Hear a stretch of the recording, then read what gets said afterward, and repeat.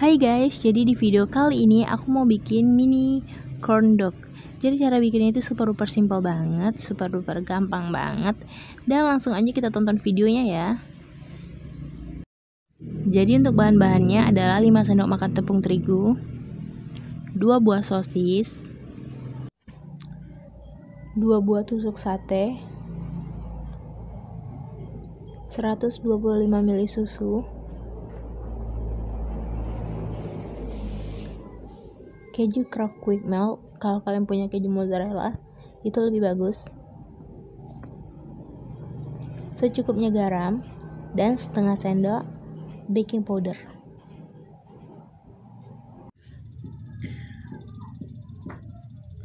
Secukupnya garam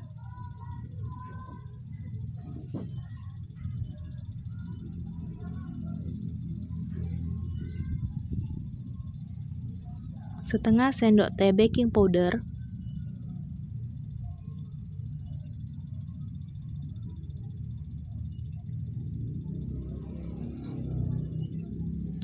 Dan susu.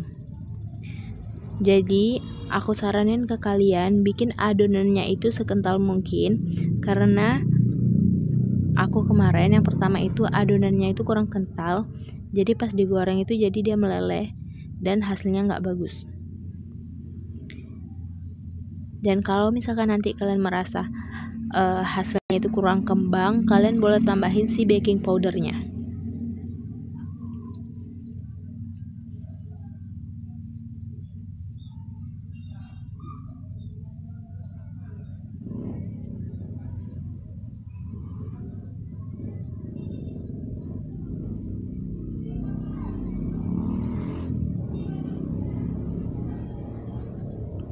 jadi sosisnya itu aku bagi menjadi dua bagian. Terus diukur sama kejunya supaya dia itu nantinya pas.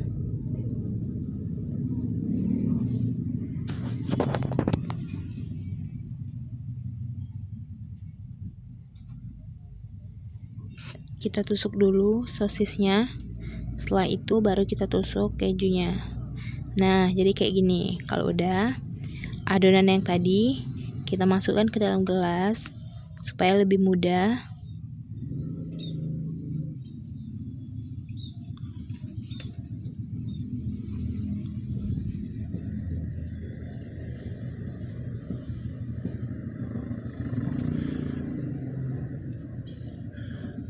Nah, kalau udah kayak gini, langsung aja kita celupkan si sosis kejunya.